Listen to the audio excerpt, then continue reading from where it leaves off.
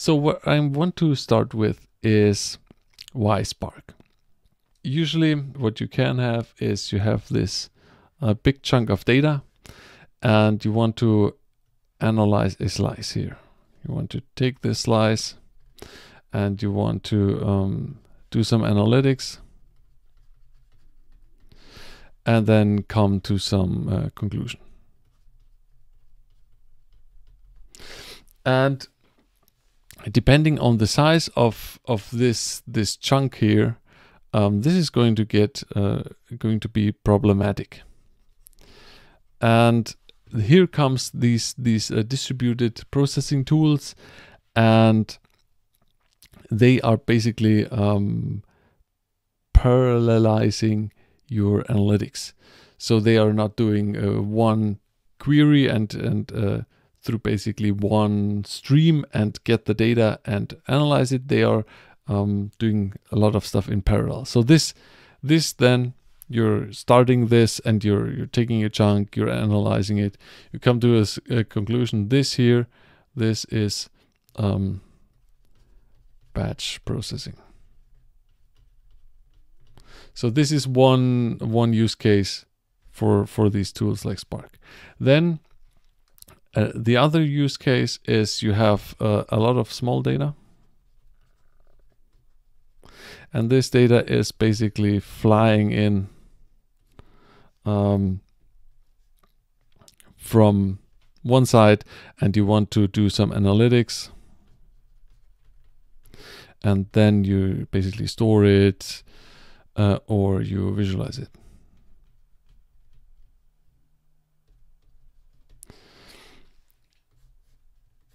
And when you when you uh, basically get streams and you analyze them, um, we could build a like a thing around here. Um, this is uh, stream processing.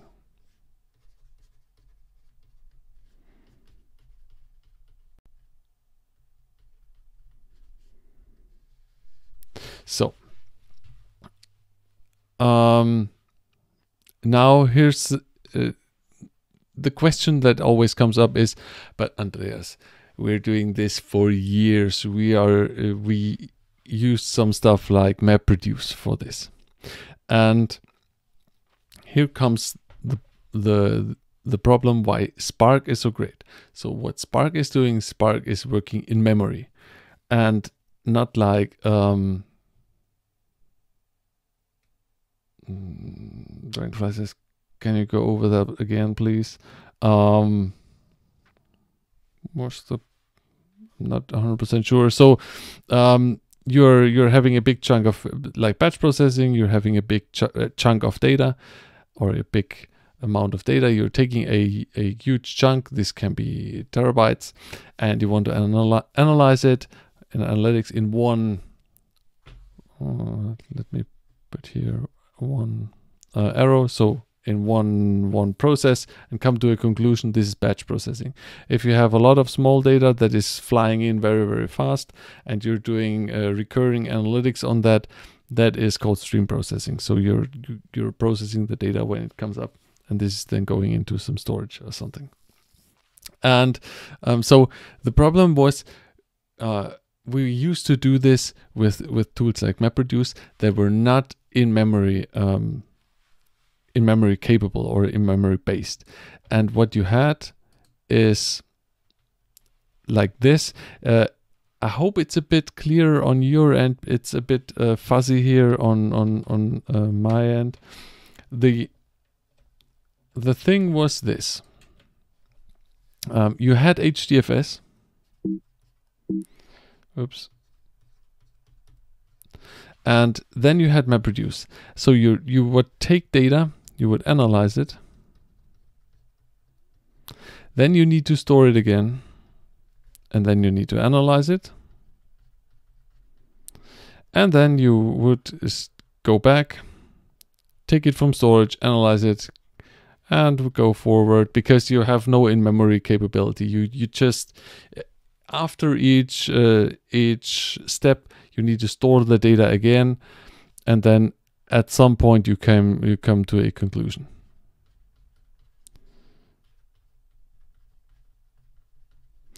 So here's the thing here's the thing. Um, when you're when you're in the when you're in the ecosystem of spark you have your your storage and this is in a in a Hadoop environment. You have your HDFS, your your your uh, real storage.